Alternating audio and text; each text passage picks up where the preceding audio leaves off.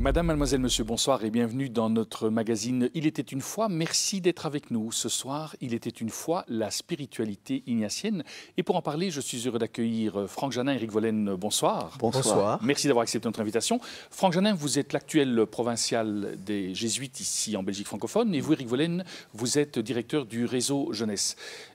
Spiritualité ignatienne, spiritualité de Saint Ignace, spiritualité des Jésuites, c'est synonyme ou bien il y a des nuances? Alors, c'est tout à fait synonyme. C'est-à-dire que Saint Ignace, qui s'appelait Inigo, il a pris ce nom Ignace plus tard, eh bien, est un, laïc, on peut dire, qui a commencé, qui a fait dix ans de pèlerinage, et, durant ce, pèlerinage, il, a, mis sur, sur, pied, si je puis dire, les exercices spirituels. Et c'est les exercices spirituels sont un bien d'église, et on pourrait dire qu'à travers les exercices, c'est la spiritualité ignatienne qui est mise en valeur. Mais ensuite, Saint Ignace, avec ses premiers compagnons, ont fondé la Compagnie de Jésus, qu'on appelle les Jésuites, et où il y a toute une manière de vivre, il y a des constitutions, il y a, des règles de vie qui forment, en plus des exercices, un véritable, euh, une coloration euh, qui est la spiritualité jésuite. Donc la spiritualité jésuite inclut les exercices spirituels, mais beaucoup plus large que ça. Peut-être qu'on va rester dans un premier temps sur ces, sur ces exercices. Euh, c'est quoi exactement, Eric Vollen, les exercices spirituels? Les exercices spirituels comme tels, c'est un chemin. Un chemin qui, dans un premier temps, durait environ 30 jours et qui était en quatre grandes étapes. La première étape, c'était se découvrir aimer. La seconde étape, c'était euh, marcher à la suite du Christ, comme euh, Ignace d'ailleurs l'a fait, pèlerin de Dieu, pèlerin à la suite du Christ.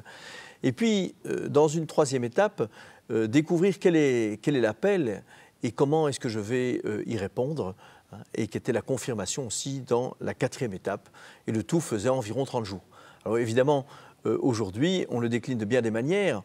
On n'est pas du tout obligé de faire 30 jours, on peut faire 3 fois 10 jours, on peut aussi euh, le faire euh, dans la vie courante, ordinaire. Quelqu'un peut faire ce parcours-là entre 9 mois, un an, parfois un petit peu plus. Voilà. Mais évidemment, il faut que euh, ça corresponde à, un besoin, à un désir, à un besoin de faire un choix de vie, de discerner quelque chose d'important dans sa vie. Hein. On ne fait pas les 30 jours comme ça pour le plaisir de faire une école spirituelle et puis on passera une autre après. Quand vous dites l'appel, c'est quoi exactement que vous mettez derrière ce mot dans le cadre des exercices? C'est-à-dire que toute personne euh, a des choix importants à faire. Je ne parle pas des tout petits choix, mais c'est se dire euh, bah, qu'est-ce que je veux faire comme métier, ou si je veux changer de métier, ou des choix de vie aussi. Est-ce que je veux euh, me marier? Est-ce que je veux vivre un autre état de vie? Hein, C'est surtout ça, un appel. Ou également parfois des personnes qui, entre 40 et 50 ans, se disent ben, maintenant il y a une nouvelle étape dans ma vie, ça peut être un, couple, ça peut être quelqu'un célibataire, dit ben, tiens, il y a une nouvelle étape dans ma vie, à quoi est-ce que je me sens appelé Quel est le, sens que je veux donner à ma vie, aux différentes dimensions de ma vie? Franck Janin, dans ces exercices, le, discernement, d'après ce que j'entends de ce qu'Éric nous dit, le discernement est quelque chose de fondamental. le, discernement est au cœur des exercices. C'est-à-dire que quand on, on, commence à rentrer dans, ce, processus euh, d'intériorité, de, prière, il y a des choses qui se passent. On ressent toutes sortes de, euh, mouvements, comme dit Saint Ignace, des motions, des, mouvements intérieurs. Et, là-dedans, il faut, faire le, tri. En fait, ces mouvements intérieurs, ils sont dans toute la vie. On ressent, pour faire très très très simple, on ressent des, moments de joie, d'enthousiasme, ou bien je simplifie un petit peu, et des mouvements de, désespoir, même ou de doute profond, de tristesse. Et Saint Ignace dit que c'est à, l'intérieur de tout cela que se joue euh, la présence de, Dieu aussi. Donc c'est quelque chose à travers notre vie. Mais il faut faire le tri. Et le discernement, c'est un tri qu'on fait pour choisir, c'est l'expérience qu'Ignace a fait dans sa conversion, choisir ce qui me donne la vie ce qui me met en avant, ce qui me, propulse en avant, qui me fait grandir. Et c'est cela. Et, qui, à travers ça, peut faire grandir les autres, peut les, faire croître. Donc c'est le mouvement de, la confiance, de, l'espérance, de, l'amour, dit Ignace dans, dans, les exercices. Justement, ce discernement, il peut se vivre tout seul ou bien il est toujours en dialogue Eric? Non, il est toujours en dialogue. Le, discernement des exercices spirituels d'Ignace ne se conçoit que dans un accompagnement. Donc on ne fait pas ça tout seul dans, sa chambre, on, le fait en dialogue avec quelqu'un qui aide à relire. Je vais prendre un exemple. Dans quelques jours, je vais accompagner un couple qui régulièrement, environ tous les ans, tous les deux ans, hein, aime à, relire sa vie pour se dire, tiens, mais où est-ce que nous en sommes avec nos enfants, dans notre couple, dans notre métier, dans les engagements? Pour l'un et pour l'autre, ce sont des engagements différents. Hein, voilà, découvrir, tiens, euh, qu'est-ce qui s'est passé? Qu'est-ce qui s'est passé de beau, de bon, euh, de vrai? Peut-être aussi voir quelles sont les difficultés, quels sont les défis devant lesquels on se trouve, et puis confronter ça à l'Évangile, l'Évangile qui est au cœur de la vie. Il y a une incarnation chez Ignace de l'Évangile, et puis de se dire, euh, par rapport à ça, eh euh, comment est-ce qu'on a envie d'orienter notre vie dans les 1, 2, 3, 4 années qui viennent? Euh, et pour ce couple, ben oui, il y a par exemple des choix de vie professionnelle, en tout cas pour l'un des deux. Il y a également des choix de se dire est-ce qu'ils vont avoir un enfant plus?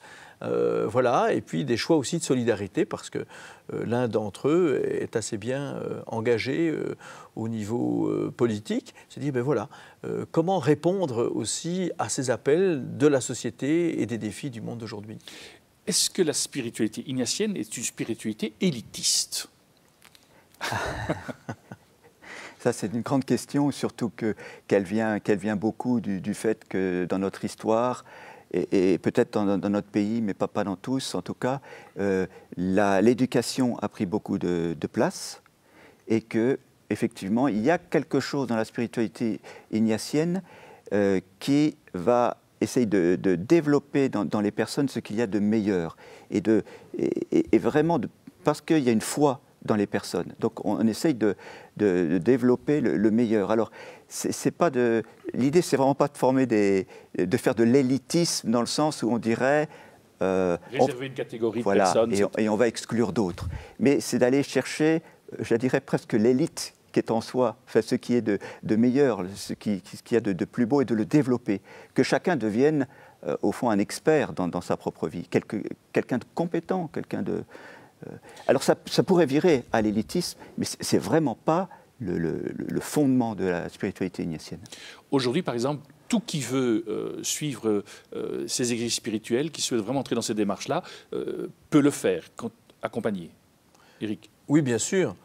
Il y a quelques années, nous avons créé des parcours des exercices spirituels de Saint Ignace pour des personnes du quart-monde. Ah, donc c'est tout à fait euh, possible. Hein, bien sûr, il faut traduire les choses euh, dans un langage, dans la culture qui correspond aux personnes. Et puis, comme dit Ignace, partir euh, du point où en est chacun. Ça, c'est très très important. Alors, ce, n'est pas un élitisme, mais c'est le davantage, le plus. Hein.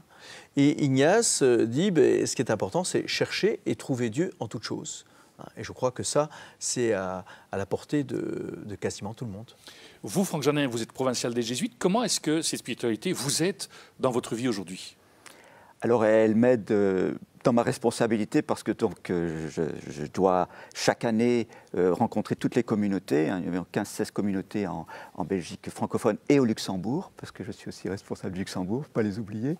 Et vraiment, ma tâche, c'est de, de rencontrer chacun une partie de ma tâche est de rencontrer chacun personnellement chaque année et dans la rencontre individuelle, c'est un peu comme dans les exercices, d'essayer de, voir avec la personne, avec le jésuite, est-ce qu'il est à la bonne place, est-ce qu'il ne faudrait pas évoluer dans, ce qu'il fait, euh, voir un peu l'avenir, euh, être attentif à ses désirs, à ses souhaits, voir les besoins de la société, les besoins de, l'ordre. Et, donc c'est dans ce dialogue, encore une fois, que se fait un discernement en commun pour trouver euh, la meilleure voie. Merci à tous les deux d'avoir pris le temps de nous expliciter un petit peu ce qu'est la spiritualité euh, inassienne euh, aujourd'hui. Nous arrivons déjà au terme de notre magazine. Merci d'être resté avec nous. Au nom de toute l'équipe qui l'a préparé, il ne me reste qu'à vous souhaiter une excellente soirée et je vous dis à très bientôt.